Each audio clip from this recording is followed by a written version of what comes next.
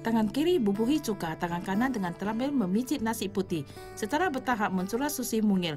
Barulah sisinya ditaruh lagi irisan ikan, disanggelai susi daging sirip erjat. Selesailah. Tuan Nagasati dari Kansai Jepang masuk ke bidang kuliner hampir 20 tahun saat kerja di Tokyo, Jepang mulai dari dapur sampai perjalanan menjadi juru keseki. Sekarang di Hotel Bintang 5 Kaohsiung sebagai kepala chef. Waktu tiba bisa berbahasa Cina, tidak sama sekali tidak bisa. Saya pertama kali pakai bahasa Inggris. Lalu pelan-pelan belajar mendengar, pelan-pelan juga mau cari sesuap nasi maka sendiri harus belajar.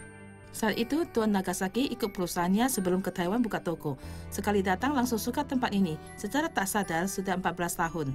Orang Taiwan baik terhadap kami, baik terhadap orang Jepang. Maka makin lama makin terbiasa. Kaohsiung adalah tempat yang kusukai. Ada laut dan gunung.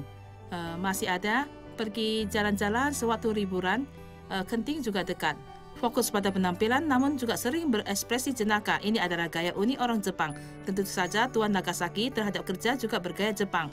Benar adalah benar, salah adalah salah, tidak samar-samar.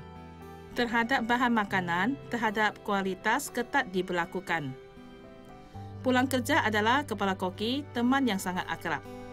Terima kasih pada orang Taiwan yang telah membantuku. Saya juga orang Taiwan, ingin tahu masakan Jepang. Adalah bagaimana lalu bagaimana membuatnya. Adalah rasa asli masakan Jepang. Saya pikir harus satu persatu diperkenalkan. Seorang diri tinggalkan Jepang, seorang diri ke Taiwan. Sekarang Tuan Nagasaki setahun hanya pulang sekali ke Jepang. Semakin lancar berbahasa Mandarin, semakin adaptasi di Taiwan.